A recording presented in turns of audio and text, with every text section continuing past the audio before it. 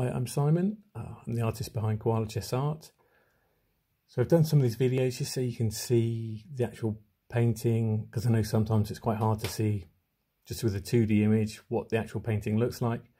So I thought I'd describe this particular one. So this is a tower in Mallorca.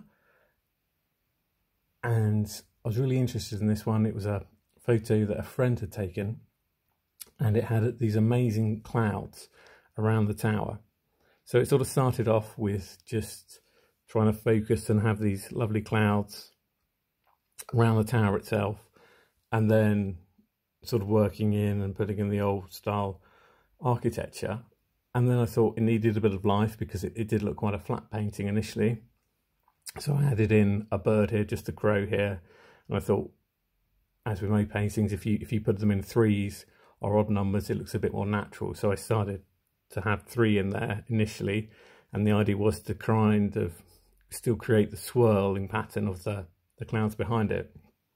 And then it, it looked okay, but I thought I added a few more to really emphasize that. So you've got them in the distance here, you can see, and hopefully that gives the effect of the swirling clouds around the tower.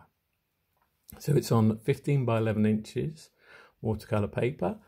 Uh, the reason for that is that it's a cut down imperial sheet, and so it's imperial measurements to give you an idea of, excuse me, let me grab the paper, what that looks like. A4 wise, that's an A4 sheet there, so you can see that's how big that would look. And you can easily sort of get frames for that with a framer.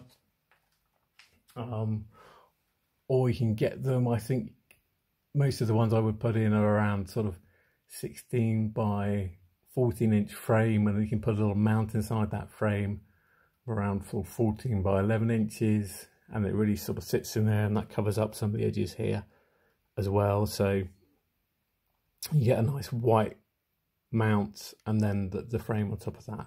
But as I say there's plenty of frames out there. If you have any questions please don't hesitate to get in contact. So if I just zoom in a little bit so you can see a few more of the details of the bird and the painting there we go. Thank you very much for watching.